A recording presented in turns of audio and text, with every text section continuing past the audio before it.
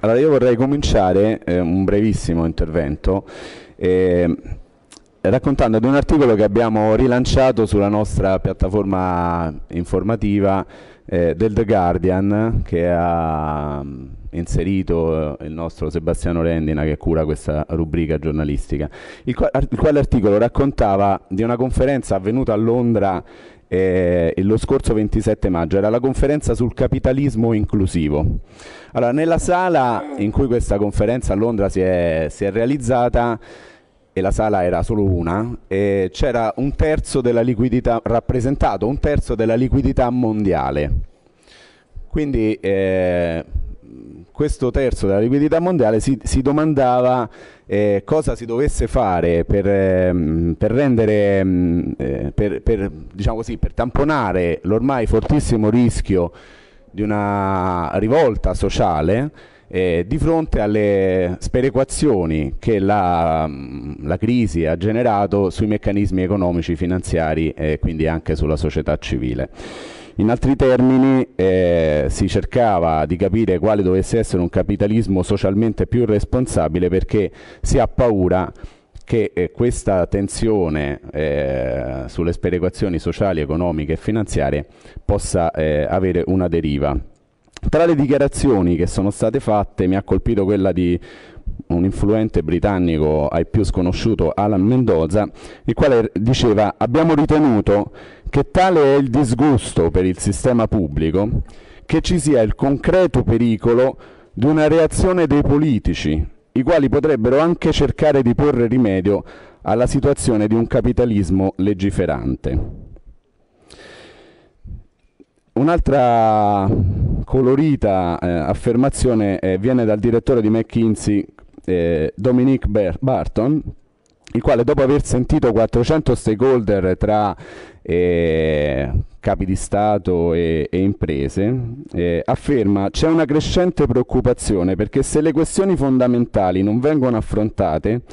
rischia di saltare il contratto sociale tra il sistema capitalistico e la cittadinanza e questo può danneggiare gravemente i risultati, naturalmente finanziari. E al di là però di queste drammatiche note di folklore, il The Guardian e anche il, um, il Wall Street Journal hanno commentato come questo, questa conferenza sul capitalismo inclusivo abbia sì riconosciuto l'esistenza di certi problemi, ma poi li abbia affrontati solo, sotto, eh, solo nella superficie, quindi diciamo arrivando a, a, a denunciare un problema, ma poi dicendo che la cosa va risolta facendo un po' di comunicazione e, e, cercando di rimettere un po' di fiducia verso il capitalismo nella società civile, quindi diciamo pagliativi. Ora, eh, questa è la giornata mondiale dell'ambiente eh, che è dedicata ai decisori politici ed economici. E, mm, e quindi diciamo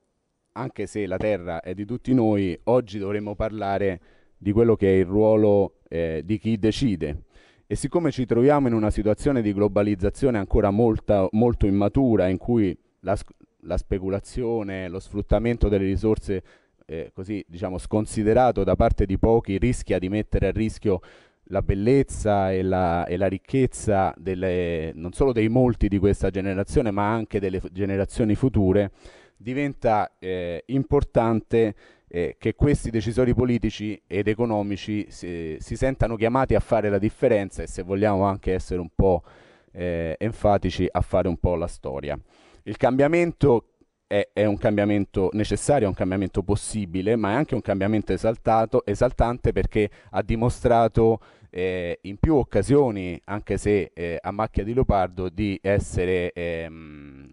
realizzabile, di essere concreto. Oggi alla FAO ri, eh, portiamo delle proposte quindi di sviluppo sostenibile eh, concrete, eh, affermando che dobbiamo ripartire dai territori che sono alla base del nostro modello economico e co condividono al proprio interno eh, la tutela per un ecosistema e quindi come per le montagne eh, eh, partire dalla cellula fondamentale del territorio vuol dire eh, sperimentare modelli di, di, sviluppo sostenibile poi da proporre eh, al mondo e attraverso i quali poi proporsi al mondo applicare in questi territori le migliori innovazioni in campo sociale, economico e, e, e anche ambientale e finanziario e, e, trovare il coraggio anche e l'orgoglio di sapersi eh, parte di un sistema eh, che sì deve dialogare con il mondo globale, con l'economia globale, ma forte anche di una propria capacità, di una propria intelligenza, l'intelligenza che si è saputa dare al proprio territorio. Siamo alla vigilia di una riforma del terzo settore che speriamo tutti che possa restituire eh, dignità alla parola eh, sussidiarietà, perché siamo anche convinti che eh, eh, si avrà molta più sostenibilità nella condivisione delle decisioni piuttosto che non nel subire le decisioni dall'alto, che spesso sono a tutela di interessi perversi e siamo anche fortemente convinti che eh, il crescere di una coscienza critica dei movimenti della rete, il crescere de delle imprese sociali, la, la, nascita di nuovi modelli finanziari che oggi racconteremo e di nuove possibilità di partenariato tra pubblico e privato siano la più concreta speranza che abbiamo di cambiamento se eh, conferenze come quelle di Londra vanno in quel modo.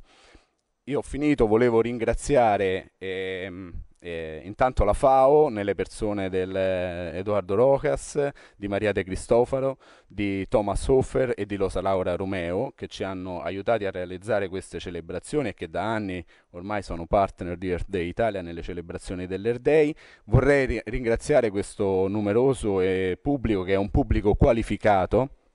eh, e che continueremo eh, a sollecitare, con il quale continueremo a dialogare poi sulla rete perché questo non sia un convegno nel quale si parla ma poi non si fa. Ecco, la rete speriamo dia dei frutti e approfitto anche per ricordare che c'è un'applicazione su tutte le piattaforme mobile che potete scaricare e che si chiama Forum Terra Italia nel quale già adesso tra voi potete dialogare eh, su, su mobile.